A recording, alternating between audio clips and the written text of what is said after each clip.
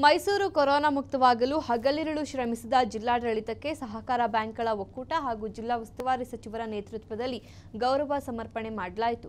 ಕಲಾಮಂದಿರದಲ್ಲಿ ಆಯೋಜಿಸಿದ ಕಾರ್ಯಕ್ರಮದಲ್ಲಿ ಜಿಲ್ಲಾಧಿಕಾರಿ, ಪೊಲೀಸ್ ಇಲಾಖೆ, ಆರೋಗ್ಯ ಇಲಾಖೆ ಅಧಿಕಾರಿಗಳು, ಆಶಾ ಕಾರ್ಯಕರ್ತೆಯರನ್ನು ಸನ್ಮಾನಿಸಲಾಯಿತು. ಆಶಾ ಕಾರ್ಯಕರ್ತೆಯರಿಗೆ ಮೂರು ಸಾವಿರ ರೂಪಾಯಿಗಳ ಸಹಾಯಧನ ಹಾಗೂ ಆಹಾರ ಕಿಟ್ ವಿತರಿಸಲಾಯಿತು. ಕಾರ್ಯಕ್ರಮದಲ್ಲಿ ಉಸ್ತುವಾರಿ ಸಚಿವ ಎಸ್ ಟಿ ಸೋಮಶೇಖರ್, ಜಿಲ್ಲಾಧಿಕಾರಿಗಳ ಕಾರ್ಯವೈಖರಿಯನ್ನ ಶ್ಲಾಘಿಸಿದರು. ನಾನು ಏಳೆಂಟು ಜಿಲ್ಲಾಧಿಕಾರಿಗಳನ್ನ ನೋಡಿದ್ದೇನೆ. ಅವರುಗಳು ಎಸಿ ರೂಮ್ ಬಿಟ್ಟು ಬರಲೇ ಇಲ್ಲ. ಕೆಳಮಟ್ಟದ ಅಧಿಕಾರಿಗಳಿಗೆ ಜವಾಬ್ದಾರಿ ನೀಡಿ ಸುಮ್ಮನಾಗ್ತಾ ಇದ್ರು. ಆದರೆ ಮೈಸೂರು ಜಿಲ್ಲಾಧಿಕಾರಿಗಳ ಮುಂದೆ ನಿಂತು ಕಂಟ್ರೋಲ್ ಮಾಡಿದ್ದಾರೆ ಎಂದು ಹೊಗಳಿದ್ರು. ಈ ವೇಳೆ ಮಾತನಾಡಿದ ಜಿಲ್ಲಾಧಿಕಾರಿ ಅಭಿರಾಮ್ ಜಿ ಶಂಕರ್ ಎಲ್ಲ ಜನಪ್ರತಿನಿಧಿಗಳು ಹಾಗೂ ಅಧಿಕಾರಿ ವರ್ಗದವರು ಈಗೋ ಬಿಟ್ಟು ಕೆಲಸ ಮಾಡಿದ್ದೇ ಕೊರೋನಾ ಮುಕ್ತವಾಗಲು ಸಾಧ್ಯವಾಯಿತು ಎಂದು ಅಭಿಪ್ರಾಯಪಟ್ಟರು.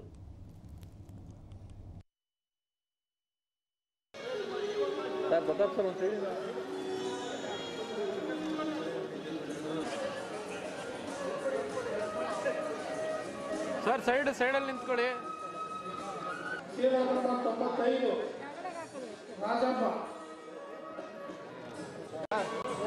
ಮಾನ್ಯ ಶಾಸಕರು, ಸಂಸದರು ಹಾಗೂ ಅಧಿಕಾರಿಗಳು ಹಾಗೂ ಎಲ್ಲ ಆಶಾ ಕಾರ್ಯಕರ್ತರು ಮತ್ತು ಸಹಕಾರ ಇಲಾಖೆಯಲ್ಲಿ ಇರತಕ್ಕಂಥ ಹಲವು ಸಹಕಾರಿಗಳು, ಮಾಧ್ಯಮ ಮಿತ್ರರು, ಎಲ್ಲರಿಗೂ ನಮಸ್ಕಾರ. ತಮ್ಮೆಲ್ಲರಿಗೂ ತಿಳಿದಾಗಿ ಇವತ್ತು ನಾವು ತೊಂಬತ್ತರಿಂದ ಆಕ್ಟಿವ್ ಕೇಸಸ್ ಝೀರೋಗೆ ತಂದಿದ್ದೀವಿ. ಅದಕ್ಕೆ ಬಹುಶಃ ಈ ಒಂದು ಇಲ್ಲಿ ಕೂತಿರತಕ್ಕಂಥ ಎಲ್ಲ ಆಶಾ ಕಾರ್ಯಕರ್ತರು ಮತ್ತು ಫೀಲ್ಡಲ್ಲಿ ಕೆಲಸ ಮಾಡಿದ ಈಗ ಪಿ ಡಿ ಇರ್ಬೋದು ಬಿಲ್ ಕಲೆಕ್ಟರ್ ಇರ್ಬೋದು ಕಾನ್ಸ್ಟೇಬಲ್ಸ್ ಇರ್ಬೋದು, ನಮ್ಮ ಕಂದಾಯ ಇಲಾಖೆ ಸಿಬ್ಬಂದಿ ಇರ್ಬೋದು, ಎಲ್ಲರಿಗೂ ಪರಿಶ್ರಮ ಅದರಲ್ಲಿ ಇದೆ.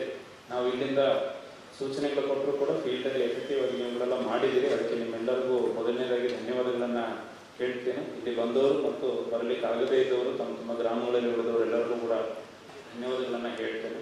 ಸೊ ಈ ಒಂದು ಸಮಯದಲ್ಲಿ ನಾವು ಕೆಲವೊಂದು ವಿಚಾರಗಳನ್ನು ನೆನಪಿಸ್ಕೊಳ್ಬೇಕು ಮತ್ತು ಕೆಲವೊಂದು ವಿಚಾರಗಳನ್ನು ಮುಂದಿನ ತಿಂಗಳುಗಳಿಗಾಗಿ ನಾವು ಸ್ವಲ್ಪ ಸಿದ್ಧತೆಯನ್ನು ಕೂಡ ಮಾಡ್ಕೋಬೇಕಾಗುತ್ತೆ ನಮಗೆ ಗೊತ್ತಿದೆ ಮಾರ್ಚಲ್ಲಿ ಲಾಕ್ಡೌನ್ ಬರೋಕ್ಕಿಂತ ಮುಂಚೆನೇ ನಾವು ಗಡಿಯಲ್ಲಿ ಟೆಸ್ಟಿಂಗ್ ಮಾಡುವಂಥದ್ದು, ಅರಮನೆಯಲ್ಲಿ ಟೆಸ್ಟಿಂಗ್ ಮಾಡುವಂಥದ್ದು ಸ್ಕ್ರೀನಿಂಗ್ ಮಾಡುವುದು ಮತ್ತು ಝೂ ಅಲ್ಲಿ ಸ್ಕ್ರೀನಿಂಗ್ ಮಾಡುವುದೆಲ್ಲ ಪ್ರಾರಂಭ ಆಗಿತ್ತು.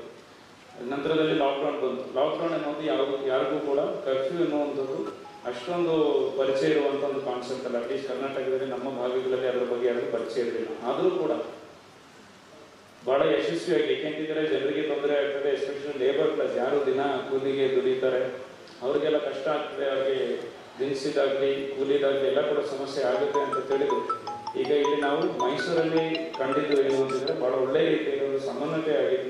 ಅಧಿಕಾರಿ ವರ್ಗದವರು ಮತ್ತು ಚುನಾಯಿತ ಪ್ರತಿನಿಧಿಗಳು, ಸಂಘ ಸಂಸ್ಥೆಗಳು ಎಲ್ಲರೂ ಕೂಡ ಯಾವುದೇ ರೀತಿಯಲ್ಲಿ ಸಮಸ್ಯೆ ಆಗಿದೆ ಈಗೋ ಇಶ್ಯೂಸ್ ಮಾಡ್ಕೊಳ್ಳೋದು, ಆ ಒಂದು ಗ್ರೌಂಡಲ್ಲಿ ಸಾರ್ವಜನಿಕರಿಗೆ ಏನು ತಲುಪಬೇಕು, ಅದು ಎಲ್ಲರಿಗೂ ತಲುಪುವಂಥದ್ದು ನಮ್ಮ ಕೈಯಲ್ಲಿ ಆಗುವಷ್ಟು ಆಗುವಂಥದ್ದು ಪ್ರತಿಯೊಬ್ಬರು ಕೂಡ ಮಾಡಿದ್ದಾರೆ. ಅದಕ್ಕೆ ಎಲ್ಲ ಸಮಾಜದಲ್ಲಿರ್ತಕ್ಕಂಥ ಎಲ್ಲರಿಗೂ ಕೂಡ ನಾವು ಧನ್ಯವಾದಗಳನ್ನು ಹೇಳಬೇಕು. ನಮಗೆ ಅತಿ ಸಂತೋಷ ಆಗಿದ್ದು ಅಂತಂದ್ರೆ ಆಶಾ ಕಾರ್ಯಕರ್ತರುಗಳು ಮನೆ ಮನೆಗಳಿಗೆ ಹೋಗಿ ತಂದಿರುವಂತ ಡಾಕ್ಯುಮೆಂಟ್ಗಳನ್ನೆಲ್ಲ ವೆರಿಫಿಕೇಶನ್ ಮಾಡ್ತಾ ಇದ್ವಿ. ಬಹಳ ಸಂತೋಷವಾಗುವಂತ ಕ್ಷಣಗಳು ನಿಮಗೆ ಆ ತಾಯಿ ಚಾಮುಂಡೇಶ್ವರಿ ಎಲ್ಲಾ ರೀತಿಯಾದಂತಹ ಶಕ್ತಿಯನ್ನ ಕೊಡ್ಲಿ. ಅದರ ಜೊತೆಗೆ ದೇಶವನ್ನ, ರಾಜ್ಯವನ್ನ, ಮೈಸೂರನ್ನ, ಆರೋಗ್ಯವಂತ ಮೈಸೂರಾಗಿ ತೆಗೆದುಕೊಂಡು ಹೋಗ್ಲಿಕ್ಕೆ ಬೇಕಾದಂತ ನಿಮ್ಮ ಶ್ರಮವನ್ನ ಸದಾ ನಾವು ತಮ್ಮ ಸ್ಮರಿಸುತ್ತಾ ಸದಾ ನಿಮ್ಮ ಜೊತೆಯಲ್ಲಿ ನಾವು ಇರ್ತೇವೆ ಎನ್ನುವಂತಹ ಎರಡು ಮಾತನ್ನು ಹೇಳಿ ತಮ್ಮೆಲ್ಲರಿಗೂ ಅಭಿನಂದನೆಗಳು. ಕೊರೋನಾ ಮುಕ್ತ ಆಗಿದೆ ಅನ್ನುವಂತಹ ವಿಚಾರದಲ್ಲಿ ಸನ್ಮಾನ್ಯ ಜಿಲ್ಲಾ ಉಸ್ತುವಾರಿ ಸಚಿವರು ಇವತ್ತು ಬಂದು ಅಧಿದೇವತೆ ಚಾಮುಂಡೇಶ್ವರಿಗೆ ಪ್ರಾರ್ಥನೆಯನ್ನು ಮಾಡಿ, ಈಗಾಗಲೇ ದರ್ಶನವನ್ನು ಮಾಡಿ ಮೈಸೂರು ನಗರಕ್ಕೆ ಒಳ್ಳೇದಾಗಬೇಕು ಅಂತಕ್ಕಂಥ ವಿಚಾರವನ್ನ ನಮ್ಮ ಮುಂದೆ ಇಟ್ಟಿದ್ದಾರೆ. ಇವತ್ತು ಆಶಾ ಕಾರ್ಯಕರ್ತರು ಏನಿದ್ದಾರೆ?